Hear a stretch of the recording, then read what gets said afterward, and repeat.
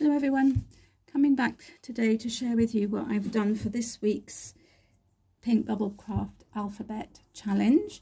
Last Wednesday Hilary pulled out S for stencil and I decided to use a layering stencil which I have. So this is what I've got, it's uh, by Crafter's Companion, layering stencils and it makes this rose um, design. So it's very simple to use. You have three stencils which uh, are numbered, one, two and three.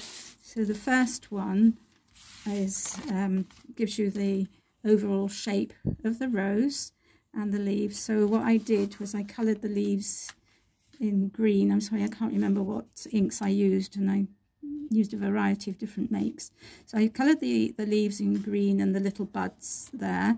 And then the um, the pink for the rose itself and for the tips of the buds and uh, also green for the stalk but I've cut the stalk off so you can't see that. And then you then you layer this one on top of um, of the other one um, to get the definition. So here you can see that there are some bits in the leaves and some bits in the petals. So um, it doesn't show up very clearly here, but there there are, um, you know, if I were to have done it, which I don't think I did, in a darker green here, you get some uh, detailing in the leaves.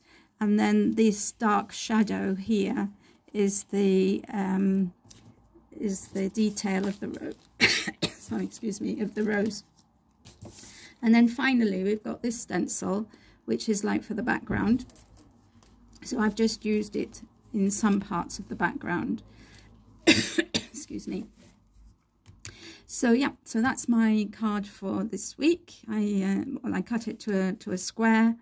I mounted it on this piece of cardstock that I had with this swirly pattern at the bottom, and, uh, then put it on a card. And I added this sentiment which says "Wishing a special day for a special person." I added three gems, which were like teardrops. My idea being that that would be like raindrops on the leaves. And then this little butterfly, um, which is in the same colour as the, as the gems. So thank you all for watching.